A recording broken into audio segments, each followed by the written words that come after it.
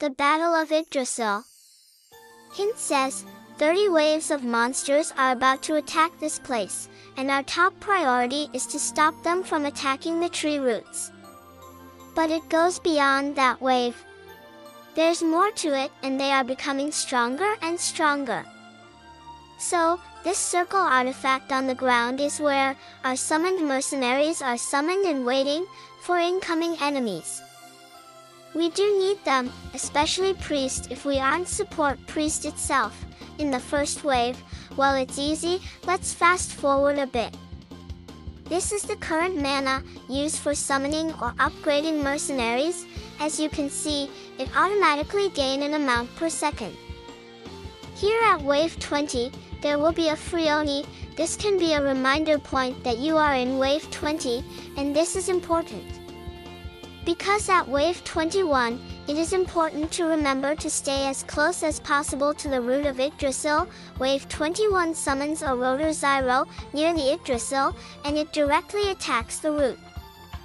For knights, Provoke is useful in this instance. This snatches enemy's aggression, reducing its dealt damage toward tree. By this time, it's recommended to always have sight of the root Yggdrasil as more waves of Rotar Zairo are coming in. Also, you should have already decided on what mercenaries would be more useful together with your character. For me though, as a tanker, I lock of damage, which would be preferable to have a wizard as mercenaries, but since I have a good damager pet, I rather have another tank. This is because I'm still not well familiar with this event. Okay, another problem is the bomb. You will notice a warning sign appears in here. Bombs are easy to deal with.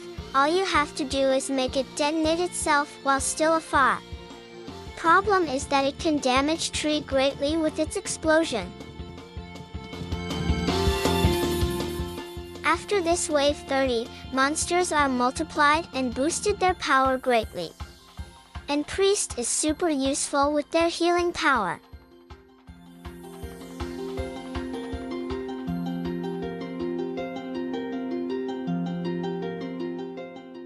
Furthermore, more orcs are summoned and they have only one objective, to get to the tree no matter what, which provoking, is essential for us knights though. Disabling them like freeze, stun, and sleep would be the best option you could have. Fast forward. We reach wave 40, the boss here, for my current power, is too much to handle, and dying would be the end of it. And that's it. Thank you for watching, please hit the like button and subscribe, I'll be uploading more and more videos. And here's an Amatsu theme song. Have fun and enjoy!